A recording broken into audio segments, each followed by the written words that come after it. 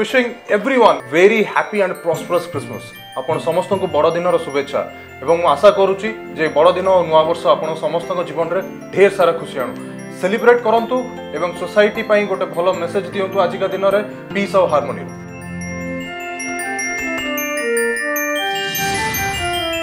Thank you.